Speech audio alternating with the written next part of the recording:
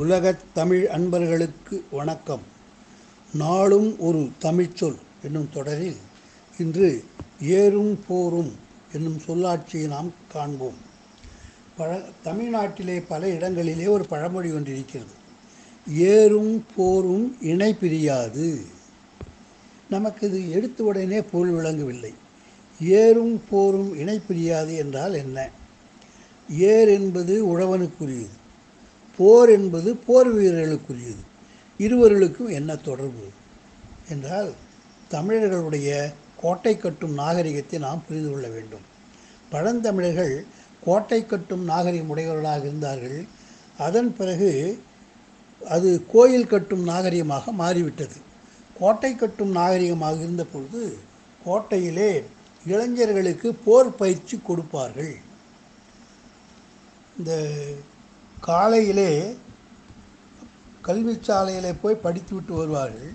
படித்த பிறகு இந்த கோட்டைக்கு சென்றால் கோட்டையிலே அவர்களுக்கு அம்பு தொடுக்கின்ற பயிற்சி ஐந்து வயது சிறுவனுக்கே அம்பு தொடுக்கின்ற பயிற்சி கொடுப்பார்கள். அந்த அம்பு தொடுக்கும் பயிற்சிக்கு பூந்தொடை விழா என்று பெயர் விழாவே நடத்துவார்கள்.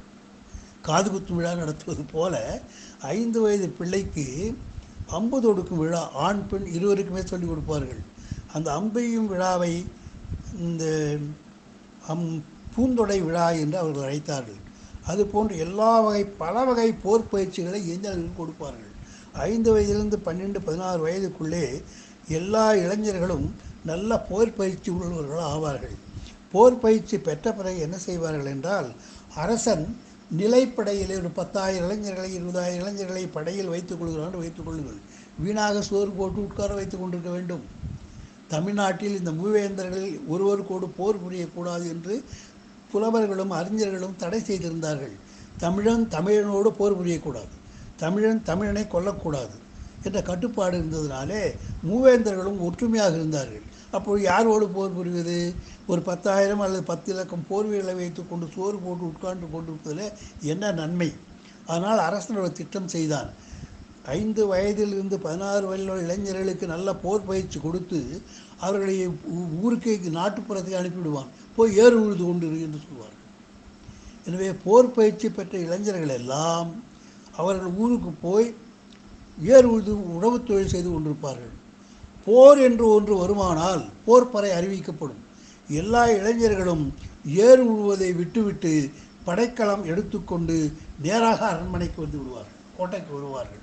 அதன் பிறகு போருக்கு போவார்கள். போர் முடிந்த பிறகு மீண்டும் ஏர் உழவே போய்விடுவார்கள். எல்லா நாடுகளிலும் மன்னர்கள் ஒரு நிலையான படையை வைத்திருந்தார்கள். தமிழர் மன்னர்கள் மட்டும் அரண்மனை காவலுக்காக ஒரு சிறு படை வைத்திருந்தார்கள் ஒழிய மிகப்பெரிய படையை வைத்துக்கொண்டு சோறு போட்டு கொண்டு இருக்கின்ற அம்மை தவித்தார்கள். உலக வரலாற்றிலே இது புதுமையானது.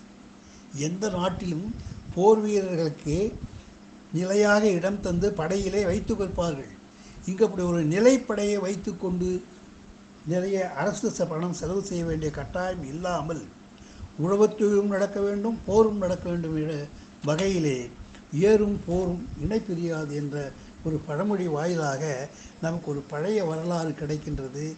தமிழரசர்களுடைய அந்த போருக்கான ஏற்பாடுகளும் ஏர்தொழில் எந்த வகையிலும் பாதிக்கப்படாமல் இருக்க வேண்டுக்காக செய்த ஏற்பாடுகளும் இந்த பழமொழி மூலம் நமக்கு விளங்குகிறது.